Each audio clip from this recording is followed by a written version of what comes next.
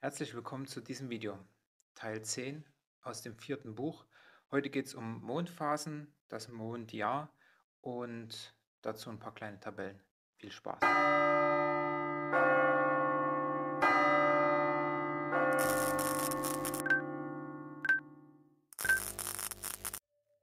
Die Mondbewegung in einem Jahr. In diesem Abschnitt werden wir die Bewegung des Mondes über einen Zeitraum von einem Jahr hinweg untersuchen und dabei Schlussfolgerungen darüber ziehen, wie sich die Mondphasen im Laufe eines lunaren Monats entwickeln. Ebenso werden wir die relative Position des Mondes und der Sonne in den verschiedenen Sternbildern betrachten. In den benachbarten Tabellen sehen wir, wie sich die Mondphasen in den Monaten September, Oktober und November 2022 entwickeln. Bei genauer Betrachtung fällt auf, dass sich bestimmte Phasen, wie zum Beispiel das erste Viertel von Monat zu Monat an einem bestimmten Ort, nur geringfügig unterscheiden. Im September beträgt das Erscheinen dieser Phase 46%, im Oktober für dieselbe Phase des ersten Viertels liegt das Erscheinen bei 54% und im November bei 51%. Mit Erscheinen ist sozusagen gemeint, was vom Mond zu sehen ist. Jede Phase ist für einen lunarischen Tag nahezu gleich und ändert sich sichtbar, wenn sie die Phasenwechselzone durchläuft, wie wir bereits im Abschnitt über die lunarischen Tage erläutert haben.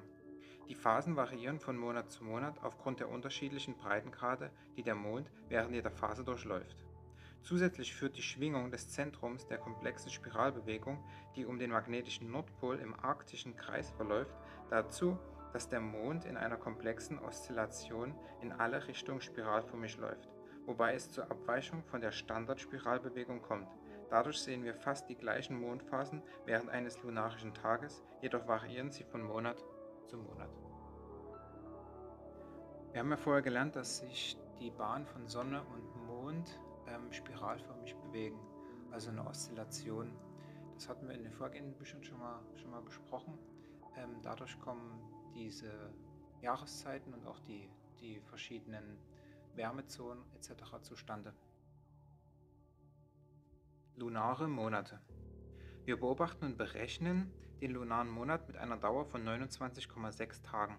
In der untenstehenden lunaren Monatsübersicht für einen Zeitraum von etwas mehr als einem Jahr und zwei Monaten haben wir neben jedem Monat eine kleine Ikone, die die Phase des ersten Viertels aus statistischen Gründen kennzeichnet. Dies gibt uns Informationen darüber, wie voll das erste Viertel ist und in welchem Sternbild sich der Mond an diesem Tag befindet.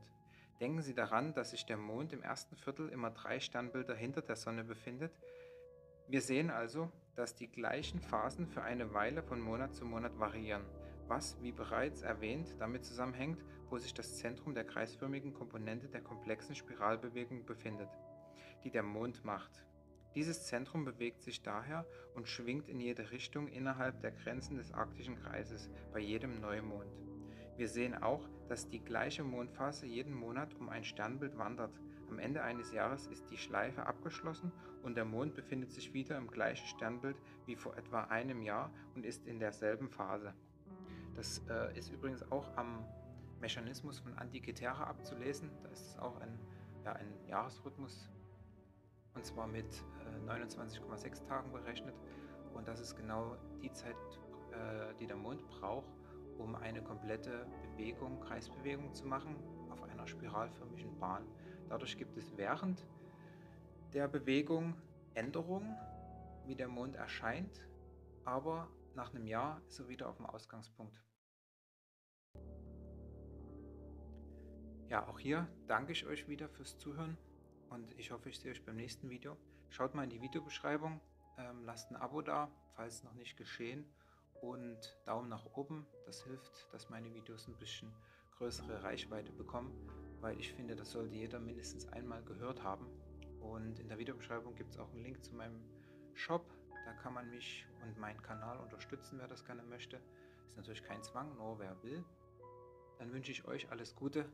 Bis bald.